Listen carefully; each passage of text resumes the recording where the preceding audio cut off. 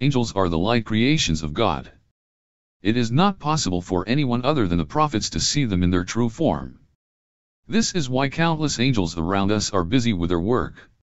But we don't see them. If they come before us in human form, then it is possible to see them. Angels are great creatures compared to humans. And some of them are small and some are big. On the wings of angels. Some of the angels have two wings. And some have 600. It is stated in the Holy Quran that all praise belongs to God. Who is the creator of heaven and earth? And two, two, three, three, four, four wind angels will make their messenger, prophet. According to some traditions, Gabriel Amin, peace be upon him, has been seen on 600. And each wing encompassed the sky. Different colors and precious pearls were scattered from their wings. The stature of the angels. The angels who carry the throne. Regarding his stature, it was narrated from Anas, R.A., that the Holy Prophet, PBUH, said, I have been given permission to tell you about one of the angels who carried the throne. Whose feet are in the lowest seventh earth and on his shoulders is the throne. There is such a distance between its two ears and shoulders that it takes a bird 700 years of flight to cover it.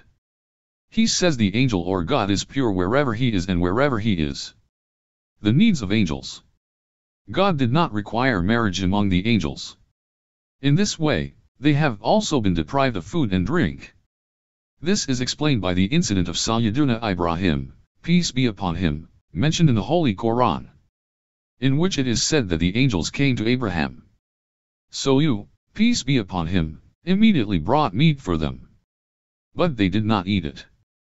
God has protected the angels from sickness, laziness, laziness, sorrow, pain, fatigue, and boredom etc. They are engaged in their work day and night only in obedience to God. It is stated in the Holy Quran that whatever is in the heavens and the earth, it belongs to God, and as many angels as are with him, they neither disobey nor tire of worshipping him. They recite the glorification of God day and night. And they don't slack off a bit. Angels almost always live in the heavens. Those who descend to the earth for various tasks only by God's command and then go back to heaven. At another place in the Holy Quran, this is mentioned about the angels themselves. We do not descend without the command of your Lord. The number of angels. There is no detail about the number of angels. Because God says, no one knows the armies of your Lord except him. It is known from some hadiths that the number of angels is very high. Rather, it is estimated that their number is more than humans jinn.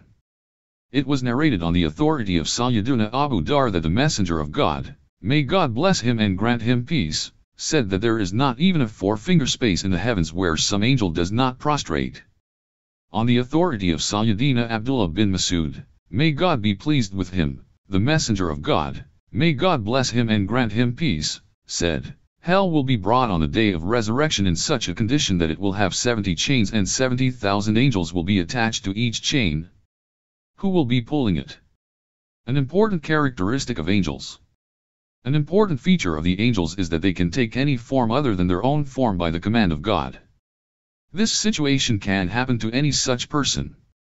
Which viewers recognize.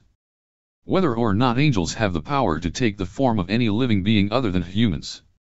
There is no clarity or mention about it in the Quran and Sunnah. However, there are definitely cases of them taking human form.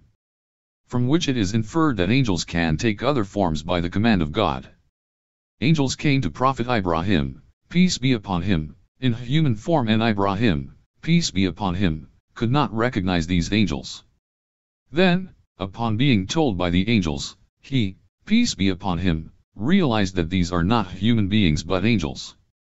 Gabriel Amin, A.S., came to Sayyidah Maryam, A.S., in human form. And Jibril Amin, peace be upon him, visited the Prophet, peace and blessings of God be upon him, in human form every time except for two times. The power of angels.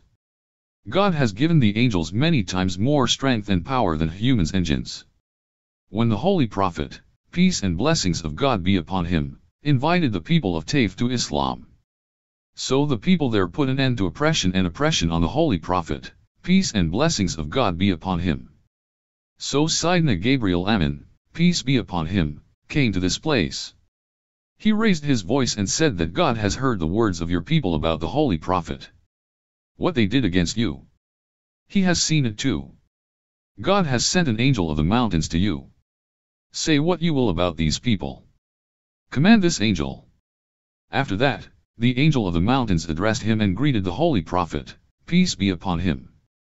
Then he said, O messenger of God, what will you order? I will comply. If you want, I can bring the mountains on both sides together, from which they will fall. Similarly, the strength and power of Gabriel Amin, peace be upon him, is mentioned in the Holy Koran. They were taught to the Holy Prophet by an angel of great power who is powerful.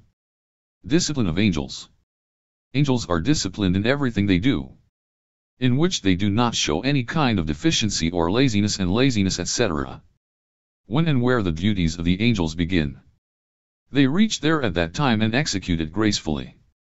Death of the Angels Just as human beings have different stages of birth and death. These are not stages for the angels, i.e. new people are born in the world and the existing people continue to die. But on the contrary, when God created the angels, since then they are alive and will remain alive as long as God wills until the day of judgment is established.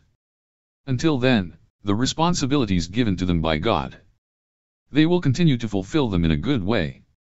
But when doomsday will come, so these angels will also suffer death. Then a time will come when nothing will survive in the universe except God. The same situation has been described in the Quran. All that is on earth is going to perish. Only the self of your Lord who is great and honorable. That will remain. Similarly, it was said at another place that every soul has to die.